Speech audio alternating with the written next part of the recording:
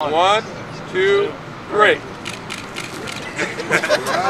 It won't take care of all of our energy needs, but it's expected to take care of more than half of the energy needs here at the site.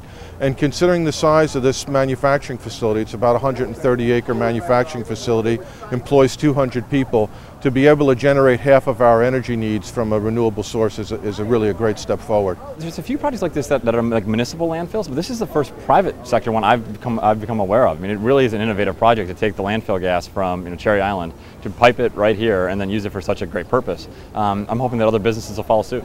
All the better that this is a good investment uh, for Croda. It's going to create some uh, construction jobs. It's going to uh, make their business uh, more uh, successful, bring down the cost of energy, which will make them more successful. Great for people's health. I mean, it really is a win across the board.